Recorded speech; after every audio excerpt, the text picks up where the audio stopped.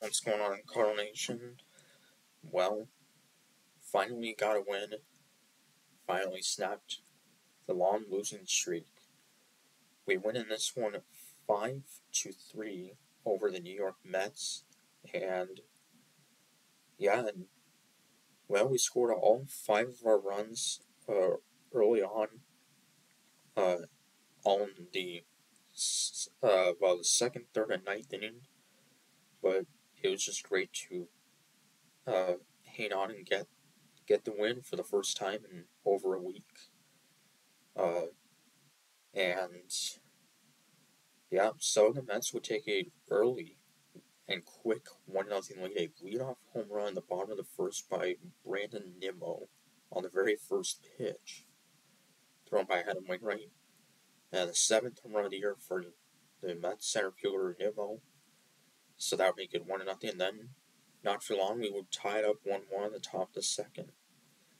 Brendan Donovan, RBI single to uh, tie it up 1 1. And then, next batter, Paul Goldschmidt, a two run home run to put us up 3 to 1. For Goldschmidt, his 12th home run of the year. So that would put us up 3 to 1 and then top of the third, Jordan Walker with a solo home run to put us up four to one. And for Walker, his fifth home run of the season and of his career. So, you know, there's still a lot of game left, but that was a great start. Uh, and the Mets then cut the lead to 4 3 in the bottom of the fifth. Two run home run by Luis Guillorme. Uh, his first home run of the season for Guillorme, their shortstop, uh, who is like a bench player. Uh, so that would make it a 4 to 3 game. And uh, for Adam Wainwright in this game, uh, sixth and third, so he would pitch into the seventh inning, give up three runs, struck out three, and then Andre Pallante would come in place him, and uh, the Mets would strand runners on first and third. So that was big. And then uh, Giovanni Gallegos say scoreless uh, eighth inning. And then Dylan Carlson would put us up five to three. RBI Sim Carlson, who was pinch hitting for Alec Burleson.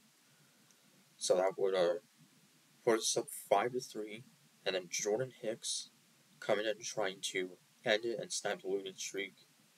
And he would hit Francisco Lindor to put the leadoff man on and bring the tying run to the plate. But he would then get Guillorme and Nimmo to strike out, and then Starling Marte will go down on a called strike to end it as we win five to three and this just just uh, felt nice really after that long losing streak. And yeah, it's just uh, pretty happy. Uh, Adam Wainwright now needs just two wins to have 200 for his career. So I think we'll probably get there, assuming he stays healthy. So career win number 198 for Wainwright. So that's pretty awesome.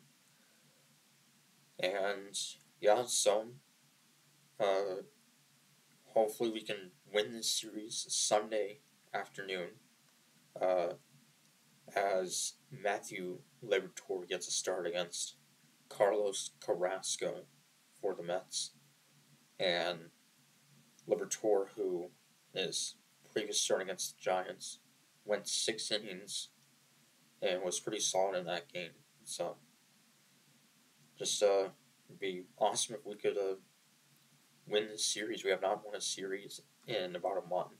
So, till Sunday, Father's Day, Comics Bears saying go cards.